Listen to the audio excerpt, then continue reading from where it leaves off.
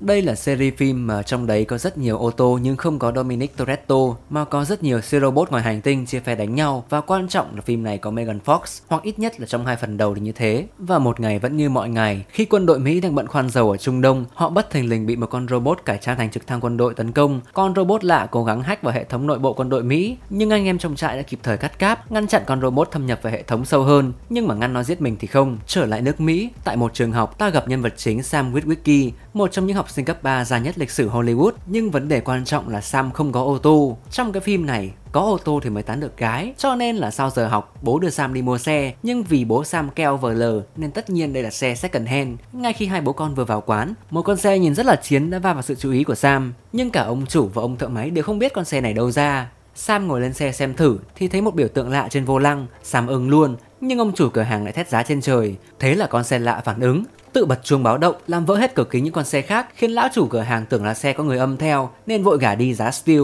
Sam sướng lắm lái xe đi khoe với đám bạn. Con xe đồng nát của Sam rõ ràng rất là lạ. Nó tự lao đến đón đầu cô nàng Michaela, cô bạn cùng lớp mà Sam thích từ lâu. Giữa đường, con xe của Sam đột ngột chiếm quyền điều khiển, bẻ lái đưa đôi trai gái ra chỗ vắng. Hai người trò chuyện với nhau, nhưng mà Sam hôm nay đau lưng nên là cứ cúi gằm mặt xuống. Sam khá ngạc nhiên khi mà Michaela rất hiểu biết về xe cộ, nhưng đột nhiên Sam lại hỏi về chuyện tình cảm Michaela, khiến cô không vui và định bỏ về, nhưng cuối cùng vẫn chấp nhận để cậu đưa về nhà. Đáng tiếc đây là phim robot biến hình, không phải robot tán gái, nên tạm thời bỏ qua chuyện tình trai gái và trở lại lầu năm góc, nơi mà chính phủ Mỹ vẫn còn đang vào đầu bứt tai xem ai đã tấn công họ. Trong lúc cả làng vẫn còn bận đoán xem đây là Iran hay Iraq thì một con robot mini ngụy trang thành đài radio lẻn được lên chuyên cơ tổng thống và tiếp tục hack vào hệ thống dữ liệu lần nữa. Các chuyên viên phát hiện ra và họ quyết định dập nguồn toàn bộ hệ thống để ngăn chặn xâm nhập. Còn robot cay vì lại hỏng việc nhưng mà số dữ liệu nó vừa kịp lấy lại có thông tin về thuyền trưởng Witwicky cụ cố của Sam. Con robot tra tìm về Witwicky thì Sam đứng đầu danh sách tìm kiếm và cậu đang cầm một vật rất quan trọng mà cụ cố để lại, thứ mà cậu đang giao bán trên eBay chiếc mắt kính. Vì thế nên Sam trở thành đối tượng truy lùng của bọn robot này. Trong khi đó, con xe của Sam bắt đầu có những hiện tượng lạ. Nó tự lái đi một mình trong đêm, khiến Sam phải lên xe đạp đuổi theo. Đến một bãi đất hoang, chiếc xe của Sam đột nhiên biến thành robot rồi đứng dậy, chiếu đèn lên bầu trời. Sam không biết thứ trước mặt mình là cái gì, nên gọi cảnh sát đến. Nhưng mà lời khai của Sam nghe như kiểu lời thì thầm của đá nên là không ai tin. Cậu bị đá đít về nhà. Vừa đúng lúc con xe kia quay trở lại và đuổi theo Sam khiến cậu bỏ chạy thục mạng. Một con xe cảnh sát xuất hiện như một vị cứu tinh với Sam, nhưng mà cậu đen vờ lờ vì đây chính là đồng bọn của con robot hack máy chủ bộ quốc phòng. Nó tìm đến đây để truy lùng Sam, tìm cặp kính mắt mà Sam giao bán. Thay vì lên eBay mua mẹ cho nhanh, chúng lại quyết định đuổi giết Sam. Đúng là những robot thông minh. Sam bỏ chạy thì lại gặp Michaela giữa đường. Thế là Michaela bị vạ lây. Hai đứa sắp bị con xe cảnh sát làm gỏi. Thì xe đồng nát của Sam lao đến giải cứu cả hai. Con robot kia lập tức biến trở lại thành xe cảnh sát, đuổi theo Sam và Michaela. Hết đường chạy, con xe của Sam đành phải hiện nguyên hình là một con robot ngoài hành tinh, đánh sáp lá cà với robot xe cảnh sát. Sau khi hạ được hắn, con robot trở về dạng xe, mời đôi trai gái đi theo nó. Nó tự quét một chiếc xe đời mới để tút tắt lại vẻ đẹp trai. Cả ba cùng đến một địa điểm lạ, cứ tưởng là ngắm mưa thiên thạch, nhưng hóa ra đó lại là các đồng đội của con robot đổ bộ xuống trái đất theo phong cách Michael Bay. Chúng tự cải trang thành những chiếc xe gần đó, rồi đi đến gặp Sam và Michaela. Thủ lĩnh cả bọn là một con xe đầu kéo xanh đỏ, tự xưng là Optimus Prime. Optimus kể cho Sam và Michaela về nguồn gốc cả bọn. Họ là các Autobot đến từ hành tinh Cybertron và người đang bảo vệ cậu bằng cách cải trang thành con xe rời đánh. Không ai khác chính là Bumblebee, bạn thân chéo cánh của Optimus. Thủ lĩnh của Autobot đã chuẩn bị cả một bài PowerPoint thuyết trình về việc họ đến đây để tìm Allspark, một bảo vật của Cybertron. Megatron, thủ lĩnh phe Decepticon, phe đối địch, cụ thể là cái bọn robot muốn tóm Sam mấy hôm nay, đã đến đây để tìm Allspark trước nhưng mà bị lạc lên Bắc Cực, lạnh Sun Sinh Lanh nên bất động. Chính cụ cố của Sam là người tìm ra Megatron, vô tình kích hoạt hệ thống định vị của hắn và tọa độ của khối Allspark bị khắc lên kính ông cụ và trùng hợp thay là Sam đủ bất hiếu để mà giao bán di vật của cụ lên eBay. Các Autobot cũng giải thích rằng nếu mà họ không tìm ra khối Allspark trước, Megatron và đồng bọn sẽ dùng sức mạnh của nó để nô dịch loài người. Ồ oh wow, nhưng mà tôi có một câu hỏi Nói ra điều còn khúc mắc trong lòng cậu đi chàng trai trẻ Mấy người có thể chọn tất cả những ảnh có hình ô tô không? Họ về nhà Sam để lấy cặp kính của cụ Nhưng vừa tìm thấy kính thì bị người của chính phủ bao vây Bắt đi đâu không ai biết Các Autobot đến giải cứu cho Sam và Michaela Nhưng đen đuổi cái là người chính phủ đông hơn Optimus không cho đồng đội làm hại con người Nên Sam, Bumblebee và Michaela bị bắt lại Họ được đưa đến đập thủy điện Hoover nơi mà Megatron đang được cấp đông. Một trong những đặc vụ quản lý cơ sở giải thích rằng là tất cả công nghệ hiện đại của loài người đều được nghiên cứu từ xác Megatron, kể cả TikTok tất cả những cái gì xịn xịn đều thế hết, trừ quần kaki của 360 Unisex, nhãn hiệu thời trang Unisex uy tín trên sàn Shopee Mall. Nay mang đến cho bạn sản phẩm quần kaki 100% con người thiết kế. Bạn đã mệt mỏi vì mỗi lần mua hàng online lại là một lần thất vọng. Lúc thì chỉ thừa lởm chởm, lúc thì quần áo phai màu, lúc thì vải rão ra và nhăn nhúm. Đã có 360 Unisex với bộ sưu tập đồng giá cực xịn để giúp bạn sắm đồ đẹp giá rẻ, mặc thoáng mát, mặc trẻ khỏe mùa hè này. Từ giá gốc 425k, nay bạn có thể sở hữu một chiếc quần kaki chỉ với 129k, miễn là bạn nhớ áp voucher.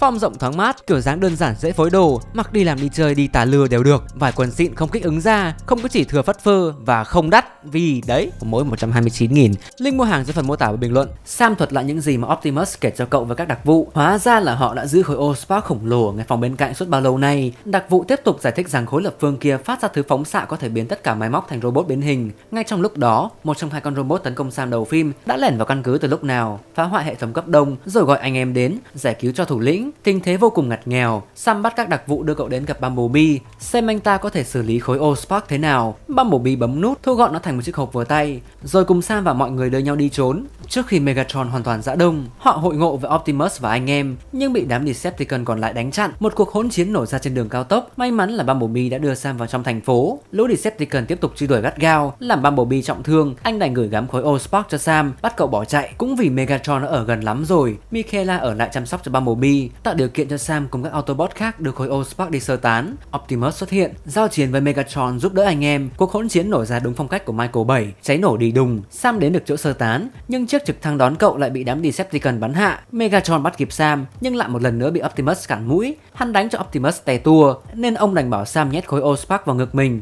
Ông muốn hy sinh để tiêu hủy khối hộp. Tất nhiên là Sam không chịu. Cậu làm một nước đi 200 EQ, nhét khối Allspark vào ngực Megatron khi hắn tới gần, làm tên thủ lĩnh Decepticon sốc chết. Megatron đã chết, khối Allspark bị phá hủy, kéo theo đó là hy vọng phục hồi lại hành tinh Cybertron. Ít nhất thì chiến thắng tạm thời thuộc về phe Autobot và loài người. Bumblebee chọn ở lại với Sam và bạn gái. Xác của Megatron bị chính phủ ném xuống đáy biển. Khi mọi chuyện tạm lắng xuống, Optimus và anh em gửi mail đi khắp vũ trụ, mời những Autobot đang lang bạt khắp nơi đến trái đất, kết thúc chuỗi ngày thất thểu tha hương. Còn con người có đồng ý hay không thì ông kệ mẹ. Trong phần 2, bại bình phục hận. Hai năm sau khi Megatron bị Sam làm cho sốc thuốc chết, Optimus dẫn anh em và những con người đã cùng chiến đấu với ông đi tiêu diệt các Decepticon còn sót lại trên trái đất. Họ tiêu diệt được một tên robot xấu ở Thượng Hải, kẻ mà trước khi chết cứ lải nhải rằng là bại binh sẽ trỗi dậy sớm thôi. Cùng lúc đó, tàn dư Decepticon đã ăn cắp một mảnh Allspark của quân đội Mỹ, lặn xuống đáy biển hồi sinh Megatron. Megatron trốn ra ngoài vũ trụ và gặp bại binh, một tên phản diện cổ đại. Hắn sai Megatron đi bắt Sam và giết Optimus. Sam thì bây giờ đã là sinh viên, chuyển nhà từ căn phòng chật hẹp của bố mẹ sang căn phòng chật hẹp của trường đại học. Điều quan trọng là Sam tìm thấy một mảnh Allspark còn sót bên trong ba lô của mình và lập tức bị tải đầy linh torrent Cybertron vào trong não. Megatron và đồng bọn tin rằng đây chính là đầu mối giúp hắn tìm thấy các em Autobot ngọt nước hoặc là nguồn năng lượng Energon mới.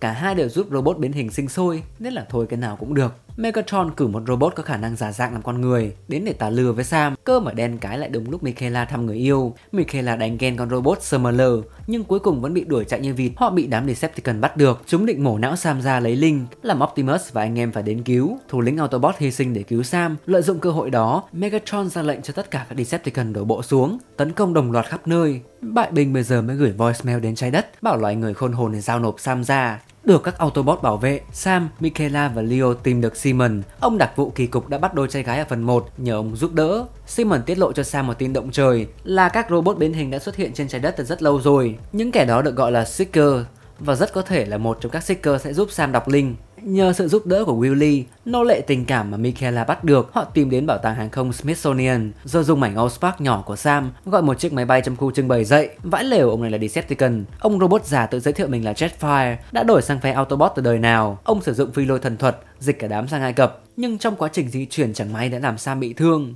Thế là cả đám sơ cứu cho Sam. Sau đó Jetfire bắt đầu kể chuyện, tua lại ngày xưa, khi mà các robot biến hình vẫn còn thói quen đi qua đi lại giữa các hành tinh, kích nổ mặt trời để lấy năng lượng, nuôi robot con. Để tỏ ra thân thiện, những robot đứng đầu cả bọn lúc đó gọi là các prime đầu tiên đã đề ra luật rằng là họ sẽ không bao giờ khai thác mặt trời ở khu vực nào có sinh vật thông minh tồn tại. Tất nhiên là có một prime bất đồng ý kiến, đòi bật lại mọi người, nên là hắn bị các prime còn lại Hitler cho ra rìa và thế là hắn trở thành bại binh, Decepticon đầu tiên. Các prime còn lại thì không hiểu vì lý do gì đã tự hy sinh thân mình để mà giấu chìa khóa khởi động cỗ máy gặt sao, một thiết bị gọi là ma trận lãnh đạo ở xó xỉnh nào đấy trên trái đất. Mẹ vợ lỡ thắng là sao tự nhiên lại quăng game này, các ông có thể sống và canh giữ cái món đấy mà. Trở lại hiện tại, Jetfire chỉ đường cho cả bọn đến chỗ mà các các Prime quá cố giấu ma trận lãnh đạo, mong là nó có thể hồi sinh Optimus. Nhưng ngay khi Sam vừa vào trong để thu thập bảo vật, ma trận lập tức tan thành cho bụi vì hết hạn sử dụng quá lâu. Sam đánh bốc hết tất cả bụi của ma trận vào trong một chiếc tất, mong là nó vẫn có tác dụng khi mà hít bằng đường mũi. Các Autobot và Decepticon cũng đã đến Ai Cập, dàn quân combat tổng, định đoạt vận mệnh trái đất. Phe Decepticon sử dụng lá bài chức năng, xây dựng thành một robot siêu to khổng lồ, lột vỏ kim tự tháp, làm lộ ra cỗ máy gạt sao ẩn giấu bên trong. Nhờ pháo kích hỗ trợ của quân Mỹ, các Autobot đã chiếm được thế thượng phong, tiêu diệt phần lớn Decepticon nhưng mà đen đủi thay, Megatron thừa cơ bắn Sam trọng thương. Trong cơn mê man, cậu không được đi gặp ông bà mà lại gặp các Prime cổ đại. Họ nói rằng Sam là người xứng đáng và giúp cậu hồi sinh. Tỉnh cơn lú, Sam có được ma trận lãnh đạo trong tay, dùng nó để hồi sinh Optimus, bại binh trở lại trái đất để lật kèo.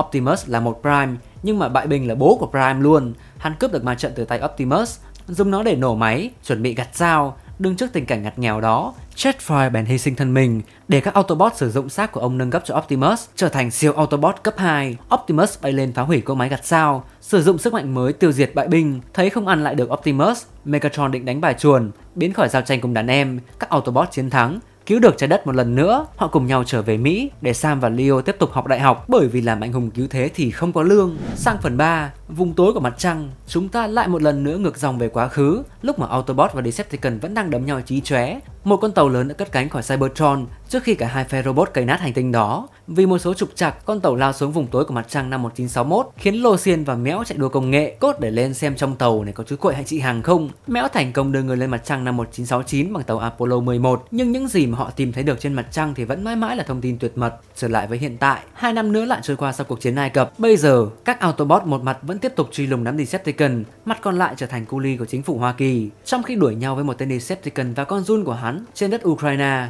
Optimus và những người bạn tìm thấy một mảnh công nghệ Cybertron giấu trong nhà máy điện hạt nhân Chernobyl. Các homie trái đất của ông đang giấu cái gì đó và rõ là Optimus không thích thế. Optimus bí mật cùng các Autobot đến thám hiểm vùng kín của chị Hằng, tìm thấy xác con tàu mất tích ngày xưa và tệp đính kèm là Sentinel Prime đang chết lâm sàng cùng với năm cây lightstick mà ông già tạo ra. Optimus đưa Sentinel về trái đất, dùng ma trận lãnh đạo hồi sinh ông robot già. Song hành với những sự việc đó, Sam Witwicky giờ đã tốt nghiệp đại học và đổi môi trường sống thì hay đi kèm với đổi người yêu. Giờ Sam sống với Carly và phải ôm chân bạn gái ít nhất là cho đến khi mà tìm được công việc mới. Thời buổi cơm áo gạo tiền, Sam cay cú vì mãi chưa kiếm được cần câu cơm, nhưng cũng chả có thời gian mà đi cùng với Autobot. Mãi Sam mới kiếm được việc làm. Cơ mà vừa đi làm mấy hôm thì đồng nghiệp lại bị Decepticon ám sát. Ông đồng nghiệp xấu số định cho Sam một tí info về con tàu trên mặt trăng, nhưng chưa kịp làm gì thì đã bị một con robot xấu giết chết. Cậu đành lại phải tìm đặc vụ Simon cùng ông điều tra thêm. Họ nhận ra các Decepticon đã và đang thủ tiêu tất cả những ai có liên quan đến nhiệm vụ trên mặt trăng. Chỉ còn hai phi hành gia Liên Xô sống sót đang trốn chui trốn nhủi ở Mỹ. Hai phi hành gia tiết lộ họ đã chụp được ảnh của hàng trăm thanh light stick được cất giấu trên vùng tối mặt trăng. Có vẻ như lũ Decepticon đã lên đây từ trước Nga và Mỹ rất lâu và chúng đang ủ mưu gì đấy. Trở lại với các Autobot, Hóa ra trái ngược với Jetfire đổi phe từ Decepticon sang Autobot, Sentinel Prime đổi phe từ Autobot sang Decepticon. Lão già lật mặt như Lý Hải, giết chết Ironhide, bạn thân của Optimus và Bumblebee, rồi tiết lộ rằng mình đã giao kèo với Megatron để thực hiện kế hoạch Make Cybertron Great Again. Sentinel sau đó dùng Lightstick dịch chuyển lũ Decepticon đang trốn trên mặt trăng xuống trái đất đánh úp loài người. Sếp của bố Sam, Dylan, hóa ra là tay trong của Decepticon bao lâu nay. Hắn cùng đàn em của Cybertron bắt bạn gái của Sam, uy hiếp khiến cậu rơi vào thế bí. Sentinel Prime và lũ Decepticon ra yêu sách, bắt loài người phải đuổi các Autobot đi. Nhưng ngay khi tàu vũ trụ của họ vừa phóng lên không trung, một tên Decepticon đã chờ sẵn để xả đạn, phá hủy con tàu, tiêu diệt tất cả các Autobot. Khi đã không còn kỳ đá cản mũi, lũ Decepticon họp mặt tại Chicago. Sentinel Prime kích hoạt tất cả Lightstick, mở cổng không gian siêu to khổng lồ, hỏng dịch chuyển Cybertron đến gần trái đất. Chúng muốn nô dịch loài người, khai thác tài nguyên của trái đất để xây dựng lại Cybertron. Sam đành phải tìm các anh lính đã từng sát cánh với Autobot, cùng họ lên kế hoạch để cứu bạn gái và đối đầu với Dylan. Tất nhiên là con người bằng thịt thì ăn thế nào lại được robot bằng sắt. Đội của Sam suýt nữa thì bị luộc hết, nhưng may mà có các Autobot đến ứng cứu kịp thời. Hóa ra con tàu vũ trụ chỉ là cú lừa, Tất cả các Autobot vẫn sống sờ sờ, tất nhiên là trừ cái ông mà bị Sentinel giết. Một cuộc hỗn chiến xảy ra, Sam đấu với Dylan, Sentinel đấu với Optimus. Sam đánh bật được Dylan vào một cột lightstick, làm tên tay sai bị điện giật chết. Trong lúc mọi người đang hỗn chiến, Bumblebee và Ratchet đã phá được thành lightstick trung tâm, khiến cho những thanh còn lại phế theo. Cybertron bị kẹt giữa cổng không gian, bắt đầu phát nổ đi đùng, coi như hết cứu. Bên phía Optimus thì không lạc quan được như thế. Ông bị Sentinel hành ra bã, Đúng lúc đó, bạn gái Sam, người vẫn đang nằm trong tay Megatron, mới thỏ thẻ với tên Decepticon rằng là Ê, nếu mà Sentinel giết chết Optimus thì lão sẽ đã đít Megatron để mà lãnh đạo tất cả Decepticon. Megatron nóng máu, cắn trộm Sentinel để thể hiện quyền lực. Tất nhiên là sau cái lựa chọn đi vào lòng đất của Megatron, Optimus đã tìm ra được cơ hội lật kèo, đấm cho Megatron bung cả ốc vít và cụt cả đầu. Sentinel cố giảng hòa với Optimus nhưng bị Optimus xử tử vì phản bội anh em. Sau cuộc chiến, thế giới lại một lần nữa an toàn. Sam và Carly đoàn tụ, các Autobot được tiếp tục sống và làm việc trên trái đất. Sang phần 4, kỷ nguyên hủy diệt, chúng ta lại quay trở về quá khứ một lần nữa. Lần này tua ngược hẳn 65 triệu năm về trước. Đấng kiến tạo của các robot biến hình mang đến trái đất một thiết bị gọi là hạt giống. Cứ tưởng là hạt trồng cái gì, hóa ra là trồng cây nấm. Tất cả khủng long trên trái đất bị xóa sổ, biến thành thứ kim loại biến hình dùng để chế tạo robot. Quay lại hiện tại, 5 năm sau sự kiện Chicago, giờ đại đa số loài người đều không thích robot biến hình cho lắm. Nghe thì hơi racist nhưng mà chủ yếu là do không phân biệt được ai là Autobot ai là Decepticon. Một đội đặc nhiệm CIA bí ẩn dẫn đầu bởi một ông già, cứ gặp robot ở đâu là móc lốp ở đấy, không phân biệt phe nào với phe nào. Mỉa mai thay, ông này lại hợp tác với một thằng robot mới tên là Lockdown, được đấng tạo hóa robot cử đi bắt Optimus về nhập kho. Không biết hai thằng cha này deal với nhau như nào, nhưng mà chúng đã tìm được Ratchet. Autobot đã gắn bó với Optimus và Bumblebee từ phần 1 rồi giết ông vì Ratchet không chịu khai ra Optimus trốn ở đâu. Cùng lúc đó, báo Cát Prime, hay còn gọi là Optimus, đã bị thương nặng sau cuộc tập kích của Lockdown, phải biến thành một con xe đồng nát, trốn trong bãi rác. Ông được một nhà phát minh miệt vườn, nhân vật chính từ giờ trở đi, Kate Yeager, mua về sửa. Trái ngược với phần còn lại của nhân loại, Kate tỏ ý muốn làm đồng minh với các Autobot, dù bạn làm ăn Lucas lẫn con gái Tessa của Kate được phản đối. Lucas báo tin về Optimus cho chính quyền, khiến cả nhà Kate buộc phải bỏ của chạy lấy người. Lucas chết trong cuộc rượt đuổi, nhưng may là Kate, Tessa và Optimus trốn thoát thành công. Thủ lĩnh Optimus đành phải tập hợp các Autobot còn sống sót, phòng trừ trường hợp mọi người tiếp tục bị bắt lẻ. Trong một lần hack máy bay điều khiển của CIA tìm manh mối, Kate phát hiện ra đám đặc vụ có dây mơ dễ má với một công ty tên là KSI. Lần theo đầu mối đó, các Autobot đột nhập vào phòng thí nghiệm của KSI tại Chicago, phát hiện ra công ty này không phải đang làm iPhone tàu, mà đang cố chế tạo robot biến hình hàng rep 11. CEO của KSI, Joshua đầu chọc, thậm chí còn lấy dữ liệu thu thập được từ đầu của Megatron nhằm chế tạo ra một con robot mới, tên là Galvatron. Lão đặc vụ mới ra điều kiện cho Joshua, bảo rằng ông CEO phải ra lệnh cho Galvatron tấn công Optimus, thì lão mới cho Joshua thiết bị hạt giống. Trong lúc đang đánh nhau với Galvatron, Optimus tự nhiên thấy một hiện tượng lạ. Sao thằng này mới đẻ mà đánh đấm cứ như là kẻ thù truyền kiếp của mình thế nhỉ? Câu trả lời thì vô cùng đơn giản. Galvatron thực ra chính là Megatron, chỉ là giao diện hơi khác một tí. Lập trình bằng dữ liệu trong não của Megatron ra thì chả thế. Optimus đánh lui được Galvatron nhưng lại bị Lockdown đánh úp. Hắn bắt cả thủ lĩnh Autobot lẫn con gái Tessa của Kate. Người cha khốn khổ đành phải cùng các Autobot còn lại đột nhập lên tàu của Lockdown giải cứu Optimus và Tessa. Lúc Lockdown đang giao hạt giống cho CEO Joshua đầu chọc, rồi cùng bỏ trốn khỏi tàu của Lockdown trước khi hắn rời khỏi trái đất. Cả nhóm tìm Joshua, Kate buộc phải thuyết phục CEO của KSI rằng ông ta đang bị lừa. Giờ mà ông bật hạt giống lên là cả nhân loại bay màu. Trong lúc Kay đang thông não Joshua, Optimus đi tìm các Dinobot, những robot cổ đại và so găng, ai thua sẽ phải nghe lời bên còn lại. Về phía Lockdown, mãi đến bây giờ hắn mới nhận ra rằng tất cả tù nhân của mình đã bỏ chạy. Lockdown cay lắm, quay xe trở lại trái đất chiến đấu, một cuộc hỗn chiến nổ ra. Optimus buộc phải giết chết lão đặc vụ CIA để cứu Kay, nhưng chính vì phân tâm nên ông bị Lockdown bắn hành. Kay đành phải sử dụng hào quang nhân vật chính, solo một một với Lockdown, trong khi con gái của anh tìm cách giúp Optimus trở lại cuộc chơi. Optimus lật kèo, tiêu diệt Lockdown, trả thù cho các anh em đang ngã xuống. Galvatron thấy kèo thối, đành lùi đi thêm một lần nữa, bỏ mặc đàn em bị Optimus và đồng đội làm gỏi. Sau khi trận chiến đã qua đi, Optimus dặn dò anh em tiếp tục bảo vệ trái đất, còn ông cầm theo hạt giống và rời đi. Tìm đấng kiến tạo robot, hỏi xem động cơ của họ là gì.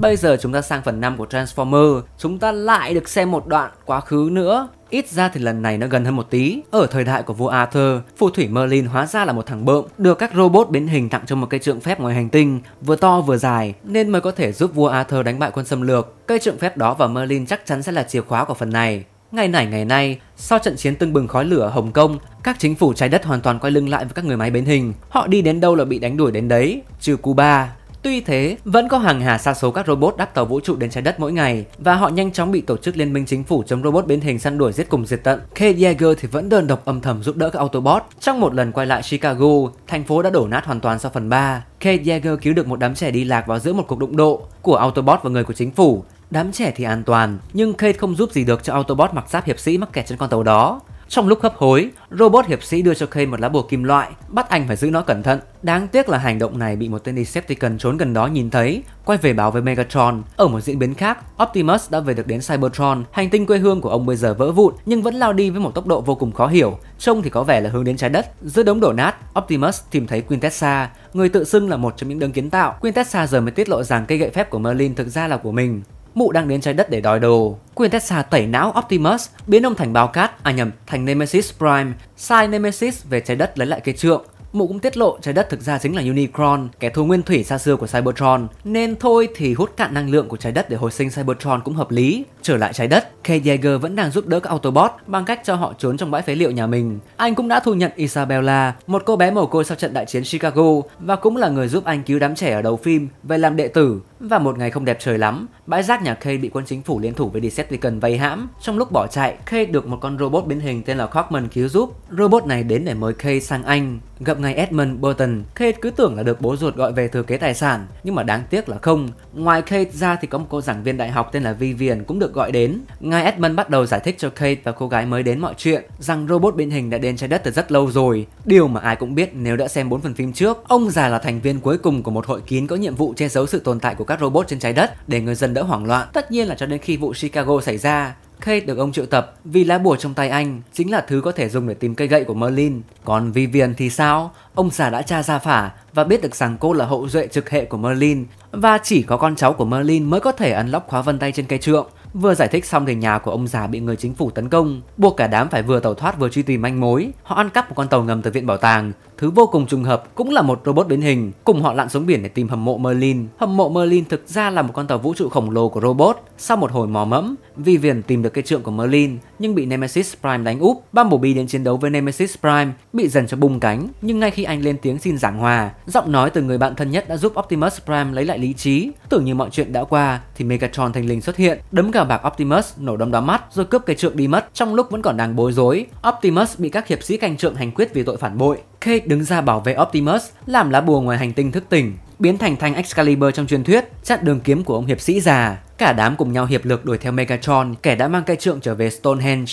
chuẩn bị giúp Cybertron hút cạn sinh lực trái đất. Ngài Edmund Burton hy sinh thân mình ngăn chặn Megatron, nhưng cây trượng lại rơi vào tay Quintessa. Và giờ thì Cybertron đã đến rất gần trái đất. Những mảnh vỡ của hành tinh này cày xới bề mặt địa cầu. Một cuộc hỗn chiến nổ ra, Optimus đánh bại Megatron, còn Vivian thì được Kate và các Autobot khác tạo cơ hội cướp lại cây trượng, dừng quá trình hút sinh lực lại. Khi cuộc chiến đã qua, các Autobot quyết định trở lại Cybertron, tái thiết lại quê hương. Quintessa chạy thoát, giả dạng thành con người để vừa lẩn trốn trên trái đất, vừa tìm cơ hội lừa những ai thiếu hiểu biết, tiêu diệt Unicron. Cơ mà như thế nào thì không ai biết, tại đến đây thì franchise flop, chú Bảy bỏ của chạy lấy người. Mạch truyện chính của Transformer ngắt quãng, ít nhất là cho đến năm nay, chúng ta chuẩn bị có Transformer Rise of the Beast, chuẩn bị ra mắt vào 9 tháng 6.